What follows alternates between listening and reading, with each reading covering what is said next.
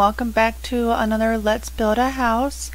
Uh, today we had decided to work on the greenhouse, um, kind of like the canning room I guess you could call it, and the formal dining room. So first here, um, and the, the video ended up being quite a bit shorter than I had planned. I thought I had spent a lot more time building than what I actually had, so I apologize that this one actually is going to be probably the shortest um, let's build part, you know, out of all of them that we've done so far. So, but uh, we got quite a bit done. I mean, three rooms, so that's that's good improvement. So, so first, you know, here we are working in the greenhouse. Um, I end up not keeping that sprinkler system. I just didn't really like the way it looked. Um, I've, I've used it before, I thought, in a greenhouse. But for some reason this time I'm just not I'm just not having it. I just I just didn't care for it this time. I don't know.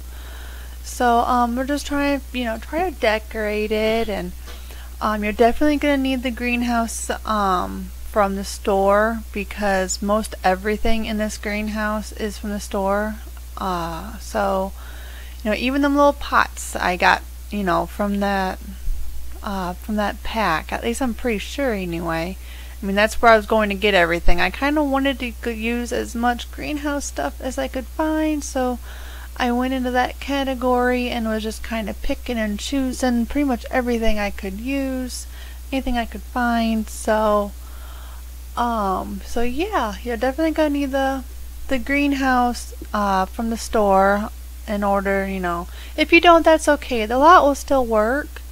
Um, you could always make it some kind of, um, you know, change out the windows and the furniture and lights and put in the other uh, pots for your plants. And you could still have a greenhouse. It just wouldn't look exactly like the one that you're seeing here. You'll just have to replace some of the stuff that you don't have. So that is fine. Um, you know, don't worry about too much if you don't have the content. Uh, it'll this lot will still work. So I wanted to put fruit trees in. I mean, because what is the point of a greenhouse if you can't have everything, right? So um, the trees seem to fit and work best in the center, so they weren't clipping through, and I didn't have to move any of the pots. And I was going to have a few of, you know, different vegetables and stuff like that. And I ended up having more vegetables that I wanted to have in here than I thought. So I ended up having to change some of them out and uh, put in something else in. However, you know, if there's plants in here you don't want, I didn't want to put anything in like the life fruit or the um, money tree or anything like that. Um, you know, if, if you want to, you know, go into buy debug yourself and change out any of the plants, feel free to do that. That way it fits with the way you play the game, that is fine. Um, I personally have never used the life fruit and I've never used the money tree. I really don't know uh, fully exactly what they do or, you know, how, how to use them or anything like that. I, I don't do that kind of stuff in my game honestly, if I if I want a sim to come back from the dead, I just kind of use uh, Master or NRaas um, debug enabler, and I just kind of I just kind of do it that way. I don't go through the whole deal of making that um, ambrosia or whatever it's called. So, um, yeah, I'm. I guess you could say I'm a little lazy when it comes to that. I I don't want to take the time to get my skill up to buy certain fish and I mean I've done it once before you know you know to help remove the ghosts and everything in my town and things like that but I'm I'm not really you know that's not really for me. I'd rather just get in there and play and you know not have to worry about it so. But anyway um here we're doing uh I kind of thought of this room as like the canning room or like the bakery like I put in the oven from I believe that's the I think that's from the bakery.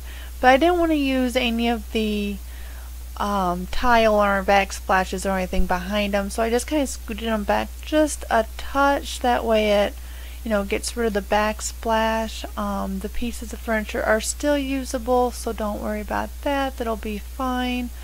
Um, but I kind of felt that with all, you know, with the greenhouse and stuff, you're going to want a can. And I don't know if, you know, I've never used any fresh fruits or anything like that for the bakery oven. I don't know if you can, if the oven will automatically use those items from your inventory or not. I have no idea. So that is a good thing to, you know, check and see if that works and maybe let me know when this house is done on whether or not you can use all those fruits for that.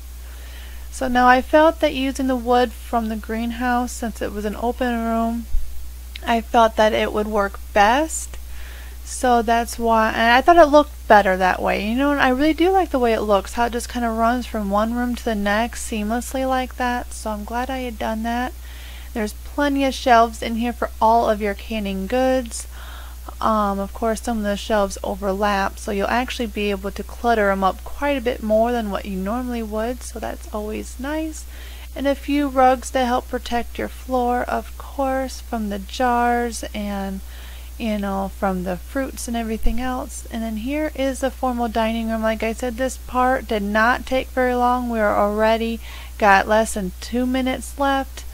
Uh, the dining room didn't take me very long, mostly because it's not very big, and I couldn't really add any extra, um, not really custom furniture pieces, but you know, I couldn't really stack anything in here to make different kinds of buffets or anything like that because it just isn't big enough.